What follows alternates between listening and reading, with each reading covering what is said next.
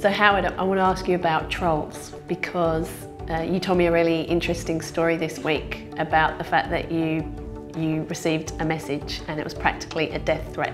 So can you share your experience and how you approached that situation? I work in the Philippines. It's well known for having a very um, violent trolling um, culture and I had made a documentary that questioned certain things about the government and I received more than 550 messages in less than a month. A lot of them very abusive. Um, one of them was saying, watch your back, dot, dot, dot, skull and crossbones. I think in my line of work, given go to very difficult parts of the world and you know often meet people face to face who might not particularly like you definitely learn to grow a thick skin and learn to just not be reactive to stuff. I think if you if you find that your pulse is quickening, the idea is just to let it simmer down and have a think about what you're about to do next because if you respond in the same manner that they've you know attacked you or maybe they've potentially they might have a good reason to so maybe you might have to have a think about that first but definitely no knee-jerk reactions.